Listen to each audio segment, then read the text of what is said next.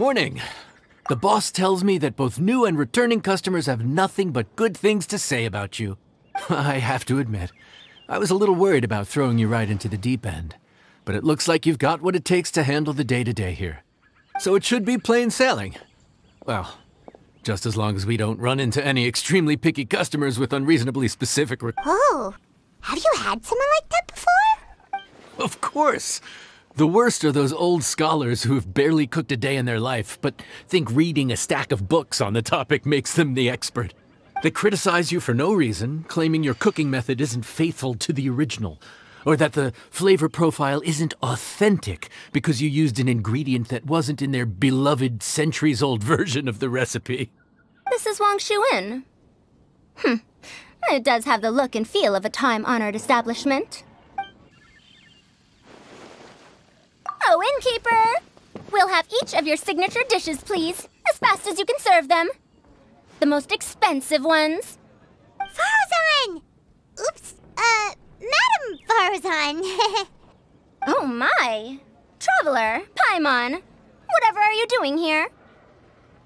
We could ask you the same thing. Where'd you suddenly get the funds to go sightseeing? And to order the most expensive things on the menu? I'm not here to sightsee. Exemplary scholars like myself are highly sought after by cruise operators in need of an onboard consultant as they travel the world. Uh, uh, Madam Faruzan, please, uh, slow down. Uh, none of us slept last night. How come Madam Faruzan still has so much energy? Uh, if she's really over a hundred years old, I don't understand how she keeps going.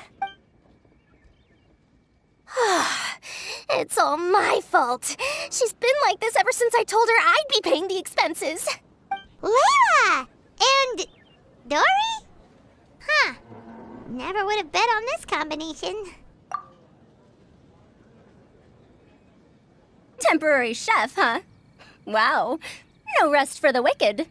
Well, if the chef here is trusting you to run his whole kitchen, then I've got no doubt we're in for some authentic Liyue specialties. So, why are you all in Liyue again?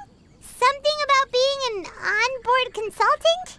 I got my hands on a new boat from Fontaine a while ago, equipped with cutting-edge navigation technology. If we manage to spread the word, it could have huge business potential. Right now, we're doing some test runs. Uh, we sailed from Port Ormos to Ritou, then from Ritou to Liyue Harbor. Next, we're planning to go to Dornman Port. Oh, Madame Faruzan and me were hired to fine-tune the compass and other equipment. We sailed around the Sea of Clouds all of last night to put the system through some stress testing.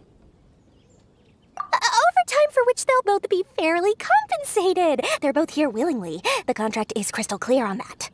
You really cover all your bases, don't you? Let Paimon guess. Paying the expenses is part of the compensation, isn't it?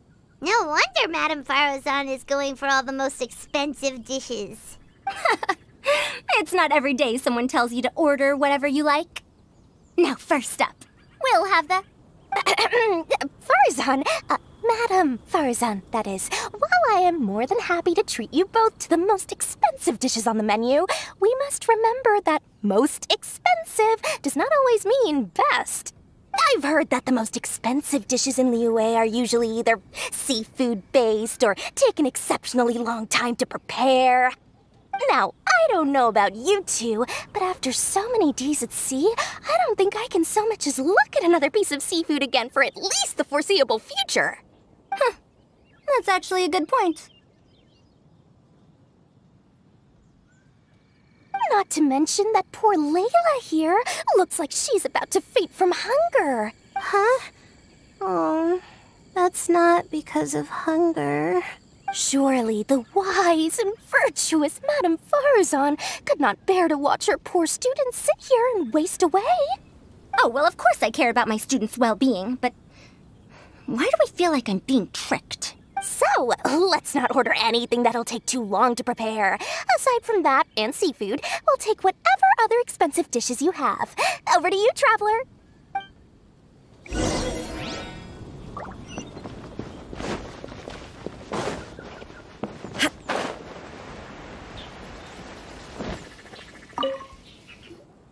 So, expensive, but no seafood and nothing that takes too long to cook.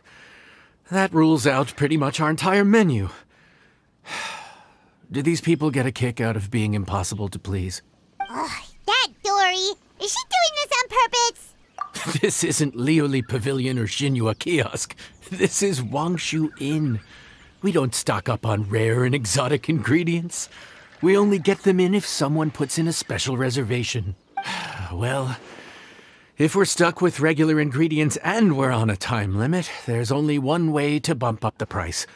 And that's by cooking a dish that uses the chef's expertise and creativity to the fullest. As it happens, I know a recipe for something called trembling strings and rushing reeds. It can be whipped up quickly with what we already have in the kitchen. One plate usually goes for 30,000 mora.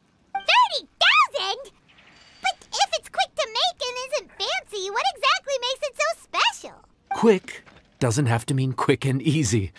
To perfect this dish, you need expert knife work and very precise control over the heat.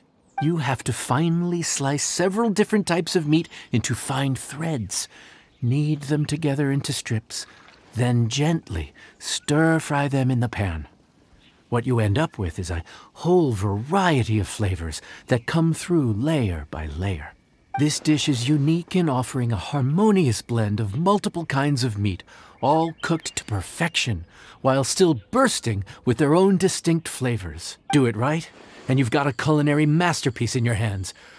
But if you botch it, it's just a bunch of meat thrown on a plate. Oh, Paimon gets it now. So this dish gets its value not from the ingredients, but the chef's expertise. Now, don't worry. I can take care of the kneading and other prep work for you. You just focus on bringing it all together. Believe in yourself. You can do this. And if you mess it up, Paimon will still be happy to eat it.